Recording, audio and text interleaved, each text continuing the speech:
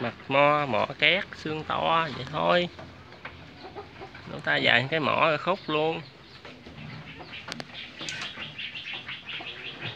Còn đơ mới có sừng lông thôi. Đủ để nhảy đầu được mấy dây kia được rồi.